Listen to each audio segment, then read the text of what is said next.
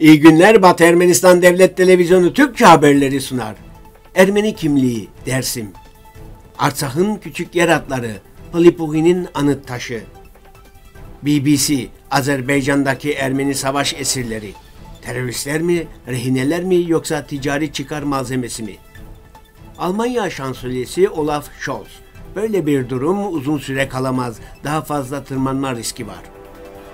Hrant Vakfı Türkiye'de Ermeni kurumlarının sorunları adlı raporu yayınladı.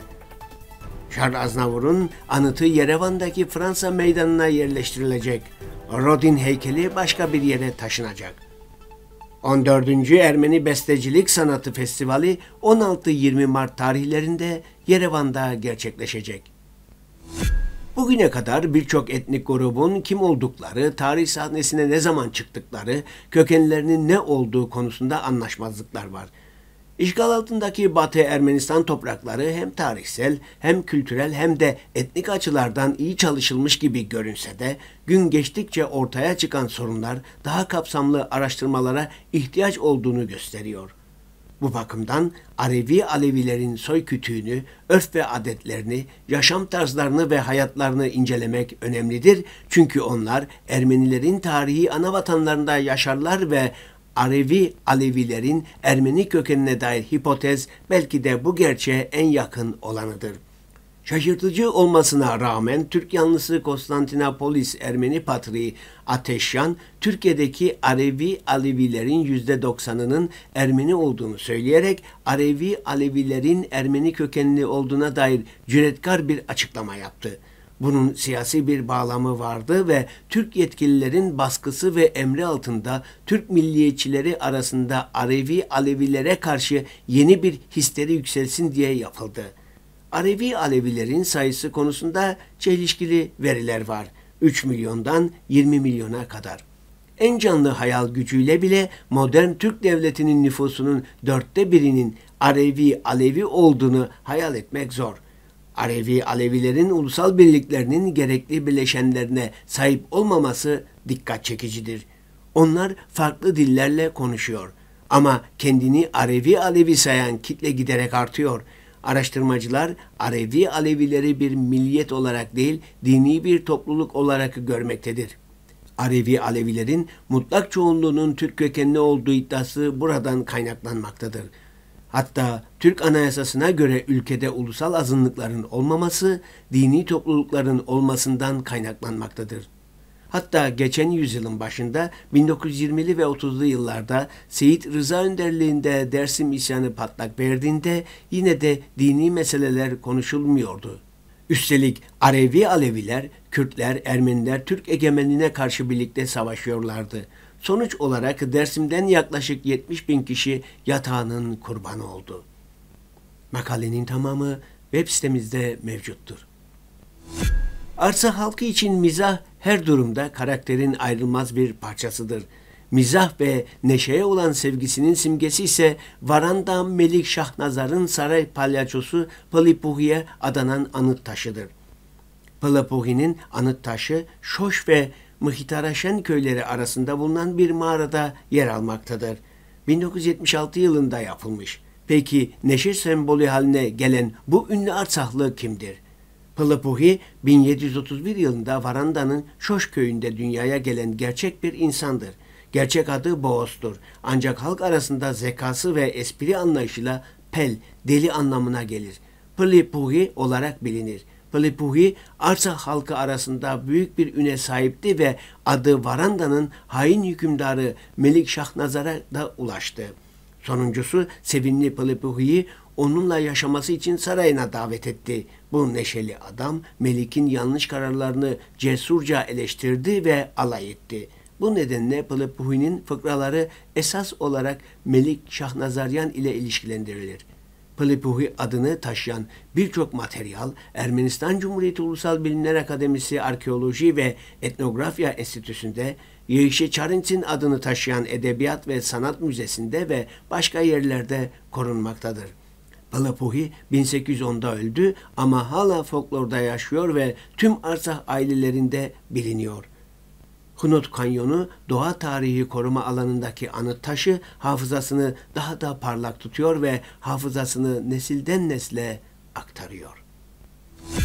Bakü'de onlarca Ermeni savaş esiri var.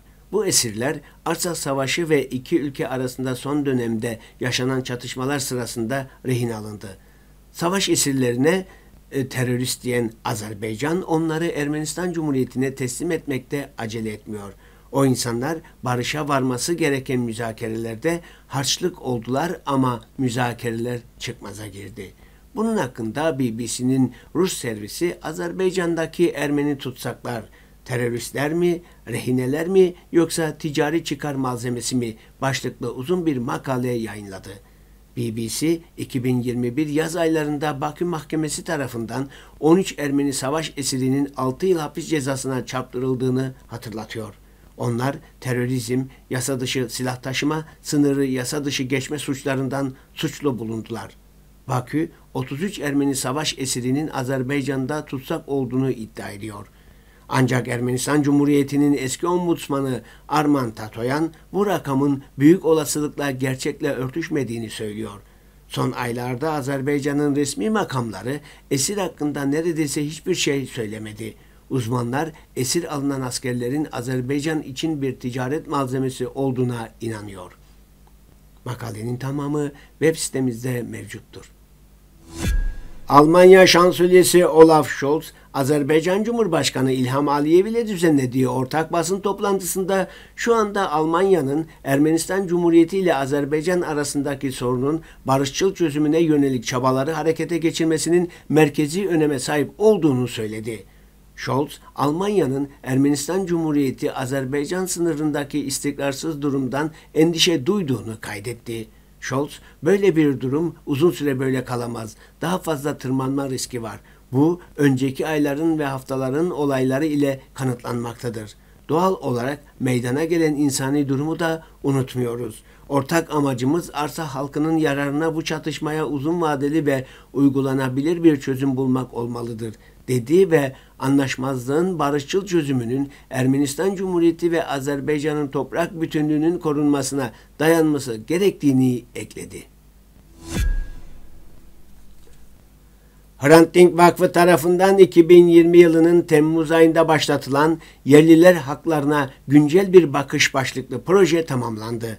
Projenin nihai ürünü olan ve Ohannes Kılıçdağı tarafından kaleme alınan Dar Gömlek, Türkiye'deki Ermeni kurumlarının sorunları ve çözüm önerileri başlığını taşıyan rapor yayımlandı. Rapor Ermeni okullarının, Ermeni vakıflarının ve Ermeni patrikhanesinin sorunlarını ve çözüm önerilerini derlemek üzere yöneticilerle ve yetkililerle yapılan 54 görüşmenin yanı sıra akademisyenlerin, hukukçuların ve sivil toplum kuruluşu temsilcilerinin sorunları ve çözümleri değerlendirmek üzere davet edildiği dört çalıştayın bulguları ışığında hazırlandı. Ermeni kurumlarının hukuki, ekonomik, toplumsal ve güncel sorunlarına ve bu sorunların çözümüne yönelik önerilere odaklanan rapor aynı zamanda politikacıların, sivil toplum kuruluşlarının ve kamuoyunun yerliler hakları konusundaki farkındalığını artırmayı ve azınlık hakları konusunda yürütülecek savunuculuk çalışmalarına ışık tutmayı hedefliyor. Raporun İngilizcesi Nisan ayında yayımlanacak. Yerevan Belediye Başkanlığı Konseyi bugünkü oturumunda Yerevan'daki Fransa Meydanı'na Ermeni ulusal kahramanı, şarkıcı, söz yazarı ve halk figürü Charles Aznavur'un anısına bir anıt dikilmesini kabul etti. Yerevan Belediye Başkanlığı Konseyi'nin Kültür, Eğitim ve Sosyal İşler Daimi Komitesi'ne Charles Aznavur heykelinin Fransa Meydanı'nın ortasına yerleştirilmesinin ve heykeltıraş Auguste Rodin'in yaptığı Jules Bastien Lepage heykelinin başka bir yere taşınmasının planlandığı bir proje sunulduğunu belirtmek gerekir. Konsey kararı 49 oy ile oy birliğiyle kabul etti. Ermenistan Cumhuriyeti Eğitim ve Kültür Bakanlığı'nın desteğiyle 14. Ermeni Bestecilik Festivali 16-20 Mart tarihlerinde Yerevan'da gerçekleştirilecek. Festival Ermenistan Cumhuriyeti Devlet Senfoni Orkestrası ve Ermenistan Cumhuriyeti Besteciler Birliği tarafından kuruldu. Ermeni Bestecilik Festivali Ermeni kültürel yaşamının önemli etkinliklerinden biridir ve kurulduğu 2010 yılından bu yana Ermeni Klasik ve Modern Bestecilik Okulu'nun geleneklerini koruma, tanıma ve genişletme misyonunu tutarlı bir şekilde izlemiştir. Festivalin en önemli bileşenlerinden biri de Ermeni bestecilerin senfoni ve oda müziği eserlerinin kaydı, video kaydı, partisyon ve orkestra bölümlerinin sayısallaştırılması ve korunmasıdır. Festivalde seslendirilen Ermeni bestecilerin eserleri popüler medya platformlarında da yer buluyor. Festival, ünlü bestecilerin müzikal mirasının yanı sıra genç ve gelişmekte olan bestecilerin eserlerini sergileme fırsatı yaratıyor. Bugün için bu kadarını öngördük. Şimdi size Yerevan Kadınlar Korusu tarafından seslendirilen Ermeni halk şarkısı Habliban adlı eseri sunuyoruz.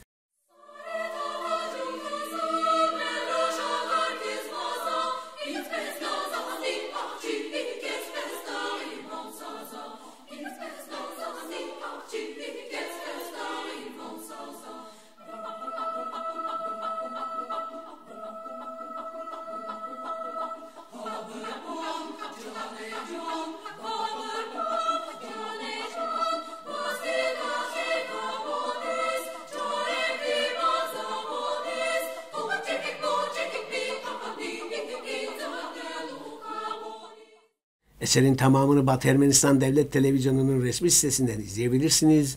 Hoşçakalın.